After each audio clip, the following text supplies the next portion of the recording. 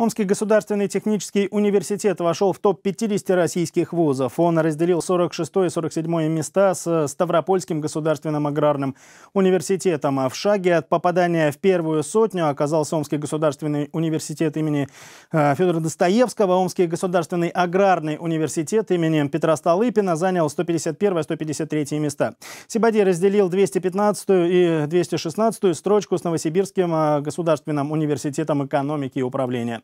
Лучшим университетом страны по итогам исследования признан Московский государственный университет имени Ломоносова. Всего в рейтинг в 2017 году было включено 264 вуза.